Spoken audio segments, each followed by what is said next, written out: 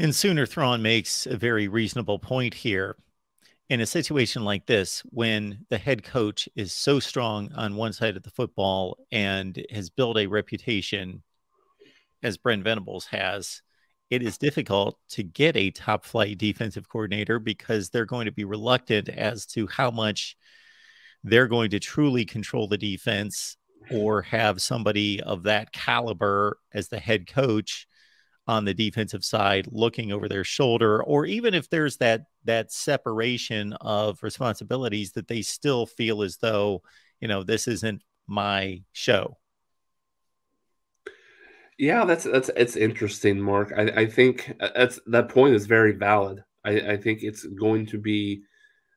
tough to get um to, to exactly what he says to bring a big name defensive coordinator because they're going to want to run their system and brent has his system that he absolutely as has in to his credit has been very successful with at, at Clemson and certainly to a to a certain degree at Oklahoma as well previously. And, and so I think what's what's going to be interesting is I, I know that there's been you know a lot of talk about like grooming um, Hall to be that new defensive coordinator eventually um, down the road because he's done a really really good job or or possibly Bates. But I think Brandon Hall is the guy that I continuously hear is a guy that's a really really bright mind has been with Venables quite quite some time. So if it gets to that point, um, Mark, where, where where they where they think there's you know a, a, new guy that needs to be there out of outside of um,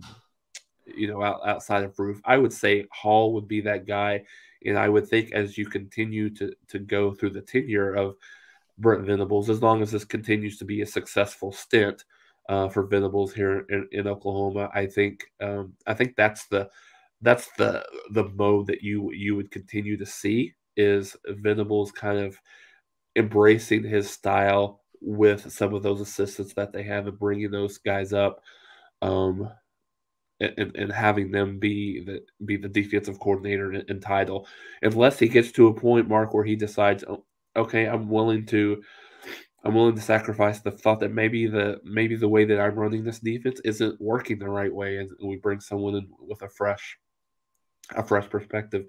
or a, a fresh mind. But I think at this point, um, it will continue to be Venables' defense until you know could be proven proven otherwise.